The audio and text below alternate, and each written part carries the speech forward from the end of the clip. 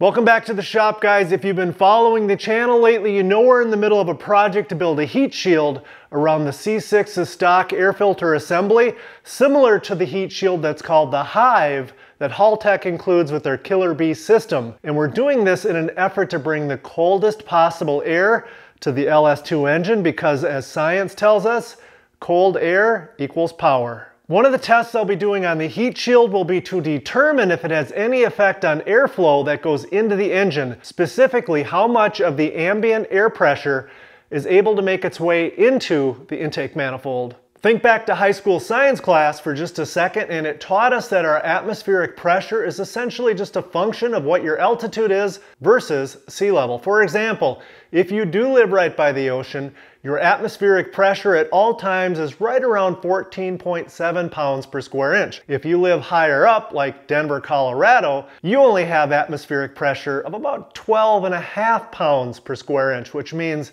your engines make a lot less power. So at this very moment, my LS2 engine is just sitting there not running. So in this situation, the atmospheric pressure has plenty of time to go through all the little nooks and crannies and equalize the pressure with what's inside the intake manifold so they are exactly the same. And we'll prove that by measuring it in just a few minutes. Once I start the LS2 engine, it starts to breathe in air and it's effectively choked to death by the throttle body. So the atmospheric pressure inside the intake manifold will be significantly less. But when we take off and head down the road and ultimately go to wide open throttle,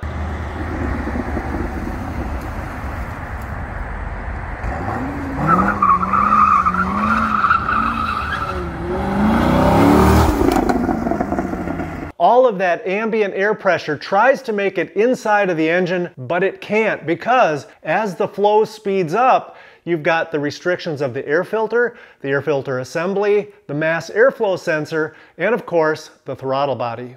And that brings us back to the heat shield that I'm in the middle of making and the question that I want to be able to answer, does the shield have any effect on the ability of the atmospheric pressure to make it all the way through the intake tract and into the intake manifold?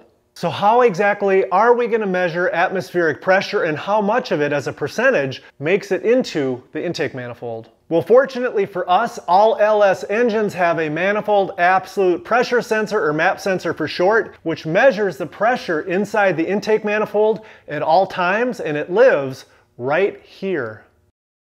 And fortunately for us, HP Tuner's program makes it incredibly simple to scan and to graph the map sensor data, even just sitting here with the engine off as long as ignition's on, all the way through part throttle and all the way through wide open throttle and all of the RPM. So we already have all of the test equipment that we need. So as I was laying in bed last night, I thought to myself, it would be interesting to see what percentage of the available atmospheric pressure the stock air filter intake system is allowing to enter into the intake manifold at wide open throttle. And keep in mind, the stock LS2 air filter intake system includes all of the following items. The air filters, the air filter housing assembly, the mass airflow sensor, and of course, the throttle body. So let's go ahead and test it. So the first thing I'm gonna go ahead and do is hook up HP tuners to the C6. Then I'm gonna go ahead and turn the ignition on without starting the engine and start the scan in HP tuners. And here we have it. This is our current atmospheric pressure. Once I go ahead and start the LS2 engine, which I'll do now, the atmospheric pressure inside the intake manifold drops significantly because the throttle body is effectively choking the engine from having the ability to inhale all of the air that it wants to. Now once we go to wide open throttle, and I actually already have that data from previous testing that we've done, as you can see at 3000 RPMs, wide open throttle, the intake manifold is in fact seeing the full atmospheric pressure of 14.36 pounds per square inch. But as the engine RPMs start to increase, still at wide open throttle, the engine requires more and more air and now is where the restrictions that we talked about a couple minutes ago, like the filter, the filter assembly, the mass airflow sensor, etc., they start to add up and the pressure inside the manifold starts to drop. By 5,000 RPMs, the intake manifold pressure has dropped to 13.92 pounds per square inch.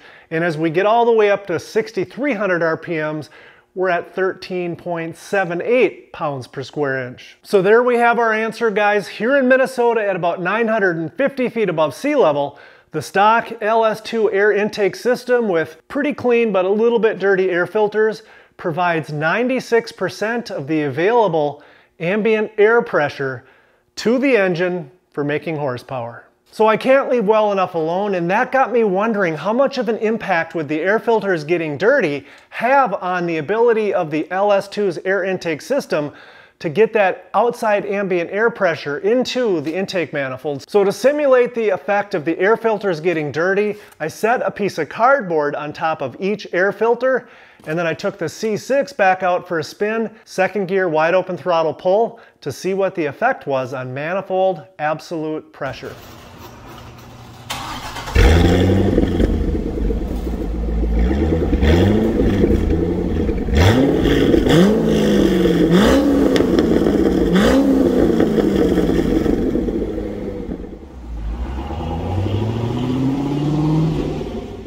First restricted air filter test is complete and the result is not at all what I expected. In fact, hit pause for just a second and enter your guess in the comments below as to what you think the pounds per square inch of pressure in the intake manifold drop to. The result was so far off from what I was thinking that I thought perhaps I had made some sort of error. The pressure dropped from the previous 13.78 pounds per square inch by only a tenth of a pound per square inch down to 13.68. So I went back to the shop and I made larger cardboard restrictions and I inserted them on top of the air filters. Then I went back out and repeated my second gear wide open throttle pull because certainly these would restrict the LS2's air intake, and they did, but by only one half of a tenth of a pound per square inch. So these results are just not making any sense to me, so I decided to take a closer look and I removed my entire air filter intake assembly and decided to make my own airflow test bench, and it is crude, very crude. I want you to meet my good friend, the four and a quarter horsepower shop vac. And by the way, I use this thing fairly often to check out exhaust systems and catalytic converters to make sure they're not restricted or plugged. And with four and a quarter horsepower, it moves quite a bit of air. Anyway, as you can see, I've got it laid out and the hose is sealed to my air filter intake assembly. So let's fire it up. We've definitely got quite a bit of suction as you can plainly see and hear. And I think I figured out where the air is getting into the filter. It's through each end, through the pleats. Can definitely feel it with my hands and hear it. So that at least explains, to some degree, why the pressure drop wasn't more. Now that we understand how the air was getting into and through the filters that were blocked off with cardboard and into the LS2 engine, I'm gonna go a big step further and completely 100% block off the passenger side filter. Why am I doing this? Because we've come this far and I'm curious how this is going to affect intake manifold pressure. So for this next second gear wide open throttle pull, I'm going to force the LS2 to breathe entirely through one lung.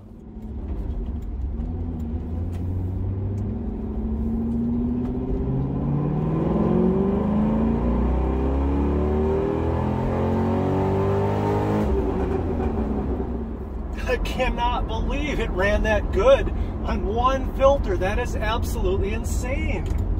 Once again, the LS2 ran surprisingly well, but at least this time, we've got a little bit more of a drop of pressure at the intake manifold. On the top, we've got the histogram of the pull with both air filters operating as they should, and right below it, I've got the histogram with one of the air filters completely blocked off. And I find it pretty damn impressive that we only lost about one third of a pound per square inch of pressure in the intake manifold at 6,000 RPMs. To me, I've found this to be a rather eye-opening set of experiments, and I just thought of one more test to do. Let's test the effects of going the other direction and test what should be less restrictive than the stock paper filters so that we know whether or not purchasing the K&N filters for about $130 will potentially lead to any more horsepower or not. So before spending any of my hard-earned money on the K&N air filter leap of faith,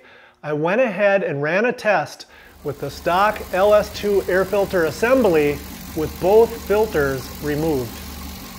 Now don't worry, it wasn't windy outside, so there really wasn't any debris blowing around in the air. Plus, the stock mass airflow sensor includes a screen whose job it is to straighten out the air for a more accurate air measurement. And the screen doubles as a filter to make sure nothing larger than a very, very small pebble could possibly make its way into the engine. So the risk to the Mighty LS2 was almost zero. And here are the results. Once again on top is the histogram with both air filters installed and operating as they should. And the one right below it is the histogram with both air filters removed. If you look closely, there are a couple of cells that have some very minor differences, but for all practical purposes, they're virtually identical. So my conclusion is that means that our air pressure drop between ambient and what's making it into the intake manifold is either caused by the air filter assembly itself, the mass airflow sensor and its screen, the throttle body, or a combination of the three. So what are the key takeaways from this video? Well, first, I think the stock LS2 air filter assembly has a tremendous amount of air filter surface area and I think GM probably did this so that folks that live in the southwest United States could get plenty of life out of their air filters without noticing a big hit to horsepower. I think the second key takeaway is the stock paper filters flow pretty darn well. This is evidenced by the testing we did comparing both filters being used against using no air filters. And because of this testing, I highly doubt that dropping in a set of aftermarket air filters like K&N's would yield any noticeable horsepower. The third key takeaway is we are in fact losing 4 tenths of a pound of air pressure at 6,000 RPMs by the time the air reaches the intake manifold at wide open throttle. So more testing is in order. I'm kind of itching to remove that screen in the mass airflow sensor. That would affect fueling, but we can keep an eye on it and do a wide open throttle pull to see if we pick up any pressure. If you happen to live in Minnesota, the Twin Cities area, and you have an aftermarket air filter setup on your LS2 powered C6, shoot me an email in the email below and I would absolutely love to test your setup. It's not really a key takeaway, but number four, I did some testing about a year ago on my buddy's C6 Z06. That's got the 7 liter LS7 engine. He has the Halltech Killer Bee system in that car with the Beehive, and that system also uses the card style mass airflow sensor, which I believe is less restrictive. So it's not really apples to apples, but it would be a good comparison just for reference to see what kind of pressure drop we saw in his intake manifold. So depending on what I come up with with some additional mass airflow sensor removing the screen, if we've got any viewers in the Twin Cities area and I can test their aftermarket LS2 system, and what I find from reviewing my buddy's C6 Z06, we might need to do a part two on this video. And finally, number five, let me know in the comments below if you have any heartburn with some of the tests that we did today if you got any additional tests you'd like to see done, remember to share, like, and subscribe this video, but most of all, thanks for watching.